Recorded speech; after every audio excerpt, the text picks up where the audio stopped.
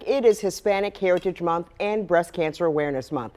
And to honor both of those, a big donation was given to a group who helps Latino families affected by cancer. Nueva Vida received $20,000 to further its mission. We know that screening mammograms can save lives, and that's what we want to do. We also know that screening pap smears can save lives. Hispanics have the highest amount of cervical cancers, and cancer is the number one killer of Latinos, not heart disease.